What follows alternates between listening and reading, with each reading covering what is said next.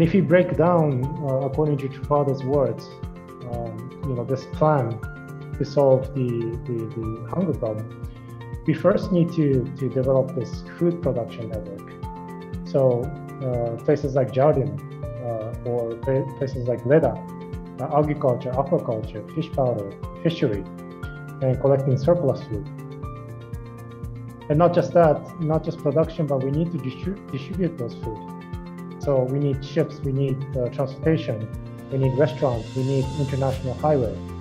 Uh, you know, that's a means of transportation, distribution, and also hobby tourism industry as well to distribute uh, wealth. And finally, you know, True Father told us that the you know final stage for ocean providence is education for self-sufficiency.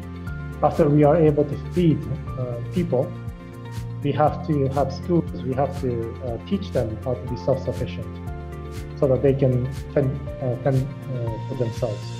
So we have to share technology. We have to uh, teach them, uh, you know, tech, how to do fish farms, farms, industry and also we need to do uh, we need to have a bank uh, he said but other other projects we also need to have ocean church activities ocean challenge activities to, to, to train members and also to witness uh, to create the base economic base as well as the human resource base.